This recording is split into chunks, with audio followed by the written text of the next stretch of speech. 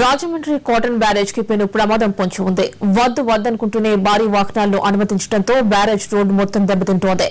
మోయలేని భారంతో జరగరాందేదన్నా జరిగితే పరిస్థితి ఏమిటన్న భయాలు పెరుగుతున్నాయి.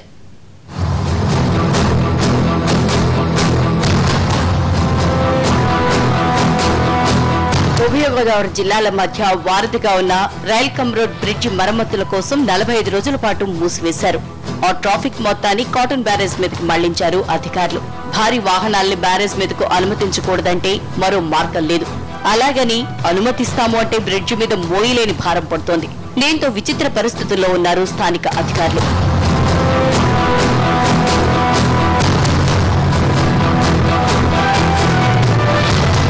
భారీ వాహనాలు వెళ్తే బేరింగ్లు పడే బ్యారేజ్కి ముప్పు పెరుగుతుందని గతంలో నిపుణులు హెచ్చరించారు.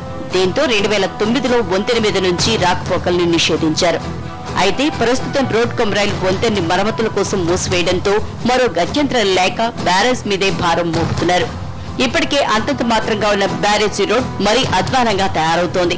గుంతలతో పాటు రోడ్డు అడుగు భాగంలో ఉన్న ఇనుప చువ్వలు బయటకు వచ్చి ప్రమాదకరంగా మారాయి.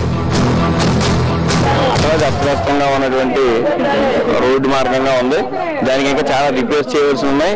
ఇవాళ ఆనకట్ట మీద ఉన్నటువంటి అనుబంధంగా ఉన్నటువంటి ఆ బే వాడి ఈ ఆనకట్ట ఏదైనా వెళ్తే అసలు ఉన్న నీటికి ఇబ్బంది అయ్యే పరిస్థితి ఉంది. పుష్కలు దగ్గర వచ్చేస్తున్నాయి. వాడకం పెరిగింది. ప్రజలు వెహికల్స్ ఎక్కువైపోయినాయి కాబట్టి నూతనంగా పెరిగిన బ్రిడ్జిని తొందరగా ఓపెనింగ్ చేసి దాన్ని ఈ ఒత్తిడిని తగ్గిస్తే ఆ బ్రిడ్జి రాబోయే రోజులు నిలబడుతుందని చెప్పి ప్రజలు భావిస్తున్నారు.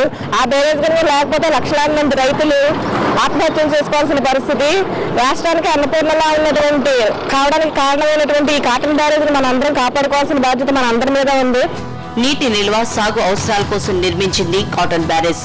తర్వాతి కాలంలో రెండు జిల్లాల మధ్య రాకపోకల కోసం రోడ్డు మార్గం వేశారు. ఇది ఇప్పుడు బ్యారేజ్ ఉనికిని ప్రశ్నార్థకం చేస్తోంది.